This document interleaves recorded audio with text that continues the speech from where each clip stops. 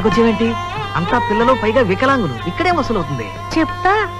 Security Yes, madam. మీరు ఇక్కడే ఉండండి. ఓకే మేడం నువ్వు కూడా.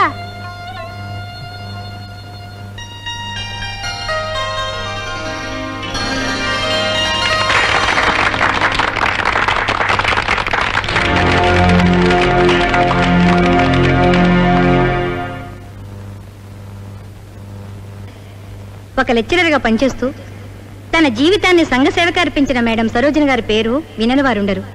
ఈవేళ వికలాంగులైన పిల్లల కోసం మన సంస్థ చేస్తున్న సేవను గుర్తించి వారు ఇక్కడికి వచ్చారు. వారికి స్వాగతం పలుకుతూ వారిని రెండు ముక్కలు మాట్లాడవలసిందిగా కోరుతున్నాను. గుడ్ మార్నింగ్ చిల్డ్రన్ మన దేశంలో ఎందరో ప్రఖ్యాతులైన స్త్రీలు జన్మించారు. నాయకురాలు నాగమ్మ మగువ మంచాల రాణి రుద్రమదేవి ఝాన్సీ రాణి. వీళ్ళంతా ఏం మాట్లాడలేదు. చేసి చూపించారు. అదే నేను చేయదలుచుకున్నాను. ఇంతవరకు మేము అందరి దగ్గర వసూలు చేసిన డబ్బు ఒక లక్ష యాభై రెండు వేల మూడు వందల ఇరవై రెండు రూపాయలు. ఆ డబ్బుని మా మహిళా సంఘాల అన్నిటి తరపున ఈ సంస్థకి విరాళంగా ఇస్తున్నాను.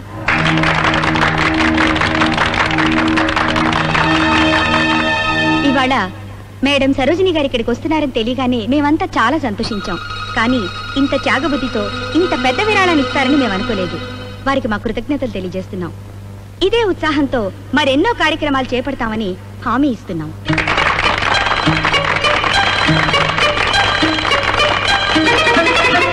కానిస్టేబుల్ మన లాకప్ నుంచి విడుదల లేని దొంగ వీడే కదా వీడే సార్ పరిగెడుతున్నాడు ఏంటి పట్టుకోండి.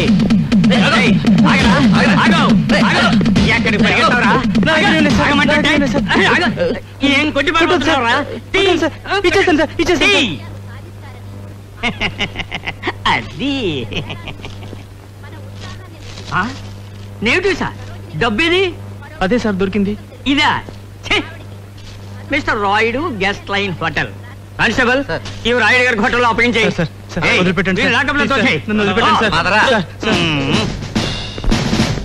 ఇన్స్పెక్టర్ గారు ఇన్స్పెక్టర్ గారు. మీకు ఇంపార్టెంట్ ఇన్ఫర్మేషన్ ఇవ్వాలి సార్. ఏమిటట? లోపల మీటింగ్లో ఉందే మేడం సరోజిని. అది మేడం సరోజిని కాదు సార్. అదంతా నాటకం బూటకం సార్. నీకెలా తెలుసు? నా దగ్గర రుజువు ఉంది సార్. చూపిస్తాను. ఎవడో కొట్టేశాడు సార్. నీది కొట్టేశారు. ఈ ఏరియా అంతా ఇంతేనయ్యా.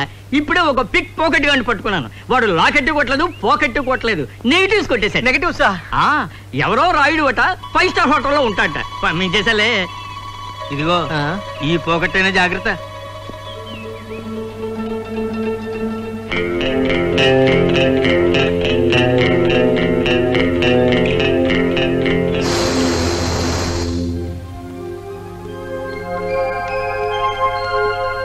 వస్తానండి.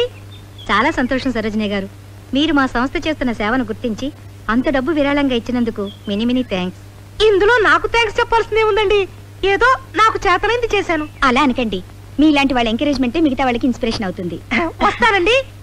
ఆ సెక్యూరిటీ? ఎస్ మేడం ఇవాళకి ఇంకా నాకు ప్రోగ్రామ్స్ ఏమీ లేవు. మీరు వెళ్ళొచ్చు. లేదు మేడం మీరు హాస్టల్ చేరే వరకు పబ్లిక్లోనే ఉంటారుగా? అంతవరకు మేము వెంటే ఉంటాం మేడం థ్యాంక్స్ ఫాలో మీ వస్తానండి. డ్రైవర్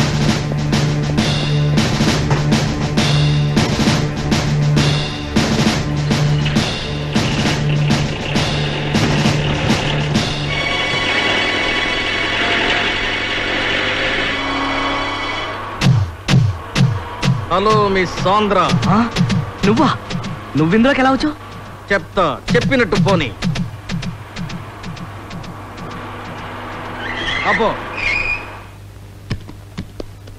దిగో దిగో. ఏమిటి? ఒక్కసారి అటు చూడు.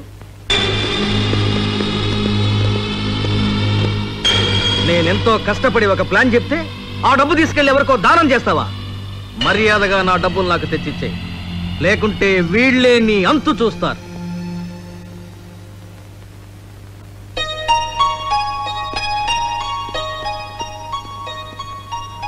మన కలెక్షన్ ఎంత? ఎంత? మూడున్నర లక్షలు. అందులో అక్కడ నేను ఇచ్చిందంత లక్షన్నరే. ఆ మిగిలిన రెండు లక్షలు చిరసగం పంచుకుందాం అనుకుంటే వీళ్ళని పిలిస్తే ఇప్పుడు వీళ్ళు వాట అడిగితే బుద్ధి లేదు.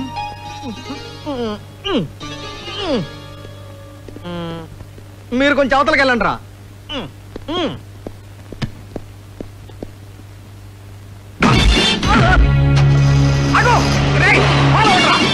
ఫాలోనా ఏమిటా ఫాలో? మేడాన్ని బెదిరిస్తే డబ్బులు ఇస్తానని చెప్పావా? అదో తప్పించిన పోయింది. ముందు ఫాలో అవ్వండి అయ్యా దాన్ని పట్టుకుంటేనే డబ్బు. తుక్కిరేకపోతుంది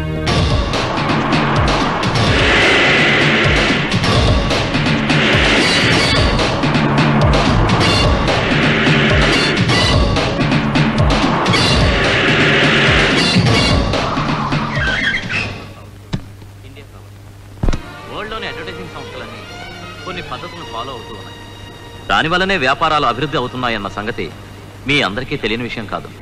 మనం మన వ్యాపారాలను ఎలా ప్రమోట్ చేసుకోవాలనే విషయాలను చర్చించేందుకే ఈ సమావేశాన్ని ఏర్పాటు చేసుకున్నాం. యూసి వ్యాపారం అనేది ఒక పెద్ద కళ. ఇన్ఫ్యాక్ట్ జపాన్ చాలా చిన్న దేశం. అయినా పారిశ్రామిక రంగంలో అగ్రగామిగా ఉండి అమెరికా వంటి పెద్ద దేశాన్నే వ్యాపార రంగంలో అధిగమించింది. మీరేమంటారు మిస్టర్ శంకర్? జపాన్ ఈనాడు ఇంత ఉచ్చ స్థితిలోకి రావడానికి కారణం ఏమిటి? కేవలం పబ్లిసిటీయే. అది ఉత్పత్తి చేసే వస్తువులకు ప్రపంచవ్యాప్తంగా ఇచ్చుకున్న పబ్లిసిటీయే ప్రధాన కారణం? సిటీస్లో ఉన్న విలేజెస్లో ఉన్న అడ్వర్టైజ్మెంట్స్ ప్రభావం సోకని వారు ఎవరూ లేరు. Advertisement is the greatest mixer of art science technology and excuse me can I speak yes దేశాభివృద్ధికి వ్యాపార ప్రకటనలు ముఖ్యం కాదని ఎవరు అనరు. కానీ బాధ్యతారహితంగా ఆడదాన్ని కించపరిచే విధంగా ఉండటం సమాజానికి చేటు అని మీరు గుర్తించాలి. ఎవరమ్మా నువ్వు? ఒక స్త్రీ స్త్రీకి జరిగే అన్యాయాన్ని ప్రతిఘటించే హక్కు ప్రతి స్త్రీకి ఉన్నది.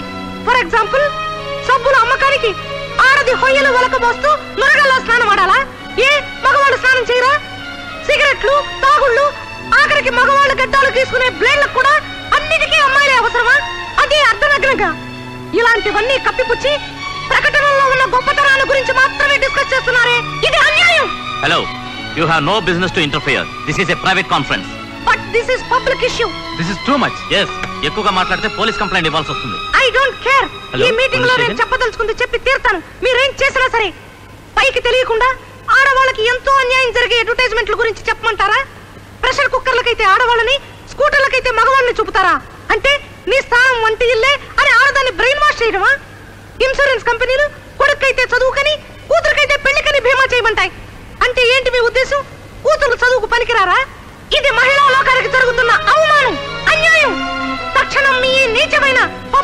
పద్ధతికి ఫుల్ స్టాప్ పెట్టండి. లేదా పెద్ద ఉద్యమం తప్పదు.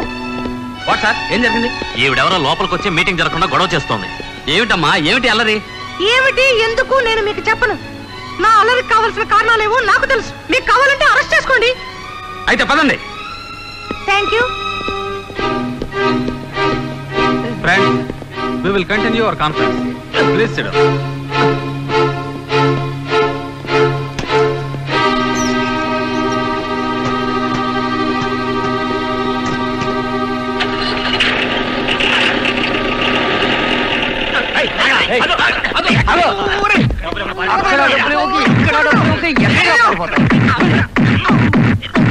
చాలా థ్యాంక్స్ ఇన్స్పెక్టర్ గారు. సమయానికి మీ డిపార్ట్మెంట్ వాళ్ళు వచ్చి నన్ను అరెస్ట్ చేసి ఆ రౌడీల బారి నుంచి నన్ను రక్షించారు. చూడండమ్మా మీరు చాలా గొప్పవారు. మీ ఫోటోలు ఎన్నో పేపర్లో చూసాం ఎందుకమ్మా మమ్మల్ని ఇలా సంపుకు తింటారు మిమ్మల్ని అరెస్ట్ చేస్తే ఆమెను ఎందుకు అరెస్ట్ చేశారు అని ఫోన్లు చేస్తున్నారు. చేయకపోతే ఎందుకు యాక్షన్ తీసుకోలేదని మళ్ళీ ఫోన్లు చేస్తున్నారు. అసలు ఈ పోలీస్ డిపార్ట్మెంట్లో నేను ఎందుకు చేరానురా దేవుడా? సార్ ఇతనే మా జీప్ టైర్లో గాలి తీసాడు అందుకే మేడం ఫాలో చేయలేకపోయాం. ఏరా? సార్ సార్ సార్ ఒప్పేసుకుంటున్నాను సార్. దీనికి అంతటికి కారణం నేనే సార్. అమ్మా మీరే నన్ను రక్షించాలి. మిమ్మల్ని కొట్టడానికి నేను నలుగురు రౌడీలు పెట్టాను. వాళ్ళే నన్ను చితగా బాదారు. ఇక మీదట మీ దగ్గర బుద్ధిగా పడి ఉంటాను అమ్మా సరే సరే. ఇన్స్పెక్టర్ గారు తప్పు ఒప్పేసుకుంటున్నారుగా పాపం క్షమించి వదిలేయండి. అమ్మయ్యా మీరు ఒప్పుకున్నారు మీరు ఒప్పుకున్నారు. ఇక నాకు ఫోన్లు రావు. మళ్ళీ వీళ్ళెవరు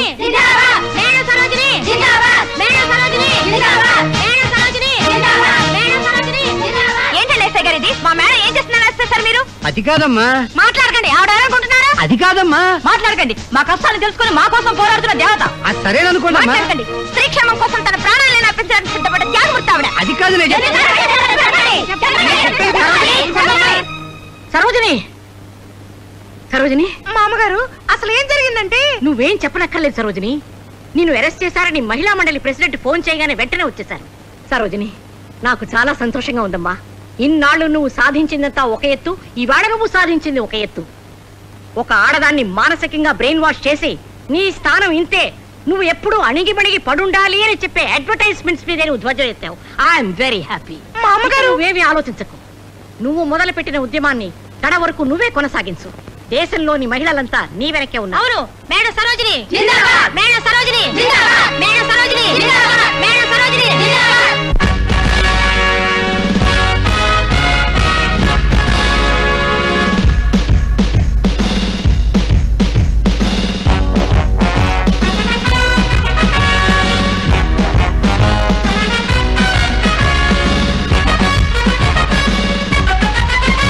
మహిళల్ని అసభ్యకరంగా చూపించడం పట్ల నిరసన తెలియజేస్తూ మేడం సరోజిని అనేక మంది మహిళలతో కలిసి గవర్నర్కు ఒక మెమొరాండం పత్రం సమర్పించారు.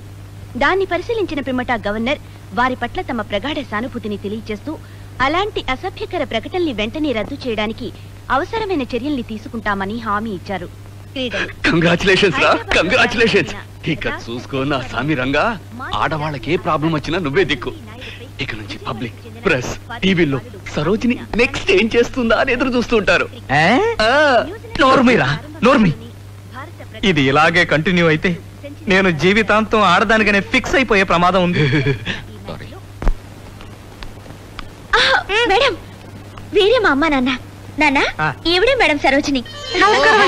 నమస్కారం మీ గురించి మీ మంచితనం గురించి మా అమ్మాయి ప్రతి ఉత్తరంలోనూ రాస్తూ ఉంటుంది. అంచేత మీ గురించి మాకు బాగా తెలుసు. చాలా బాగా తెలుసు. అమ్మాయికి పెళ్ళి సంబంధం ఖాయించేసినట్టున్నారు మరి నిశ్చితార్థం ఎప్పుడు? మీకు చెప్పందే మా అమ్మాయి ఏ పని చేయదే? నాన్న ఆ. నాకు ఈ సంబంధమే ఖాయమవుతుందని చేతిరేఖలు బట్టి మేడం ఎప్పుడో చెప్పారు.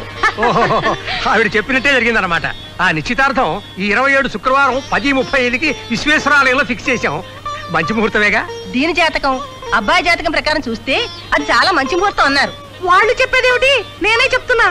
ఈ ముహూర్తం ఏ నక్షత్రం వాళ్ళకైనా ఏ రాశి వాళ్ళకైనా ఓకే. నిశ్చితార్థం దగ్గరుండి మీరే జరిపించాలి. తప్పకుండా వస్తారుగా? భలే వాళ్ళే. నేను లేకపోతే అసలు నిశ్చితార్థం ఎలా జరుగుతుంది? గుడ్ మార్నింగ్ మేడం మేడం బాగున్నారా అందరూ? బాగుంది. హాస్టల్ అది ఎలా ఉంది? పదండి పదండి. రండి రండి. ఏమిటి సడన్గా వచ్చారు? కబురు పెడితే నేనే వచ్చేదానిగా? వీళ్ళు సౌందర్య అమ్మా నాన్న. నమస్కారం. సౌందర్యకి ప్రసాద్ అనే మంచి కుర్రాడితో ఈ నెల ఇరవై ఏడో తారీఖున విశ్వేశ్వర ఆలయంలో పది ముప్పై ఐదుకి నిశ్చితార్థం. శుభం. ఇదే ముహూర్తంలో నీకు బాబీకి శుక్రవారం. అదే విశ్వేశ్వరాలయంలో నిశ్చితార్థం. అసలు మ్యారేజే ఫిక్స్ చేసిన నానమ్మ. ఇంత హడావిడిగా ఎందుకు? ప్రస్తుతం నిశ్చితార్థం చాలన్నాను. మీరే అన్నారా? అదే డేట్ ఎందుకు? వేరే డేట్ ఏదైనా ఫిక్స్ చేసి ఉండొచ్చుగా. అదేంటి మేడం? ఇరవై ఏడు ఎవరికైనా తిరుగులేని ముహూర్తం అని ఇప్పుడు మీరేగా అన్నారు? ఎస్ ఎస్ అన్నాను అన్నాను అన్నాను. మేము వెళ్ళి ప్రసాద్ని కలవాలి. వస్తామండి? ఆ ప్రసాద్ అంటే నీ స్నేహితుడు ఏదో డబ్బింగులు అవి చెప్తాడన్నావు అతనా? ఆ కాదండి. ఆయన బిజినెస్ మ్యాన్ అవును పెద్ద బిజినెస్ మ్యాన్ మీరు బయలుదేరండి. వస్తాం. అబ్బా ఎంత కాలమైందిరా ఈ హాస్టల్కి వచ్చి సరోజని. ఏది? ఏమో.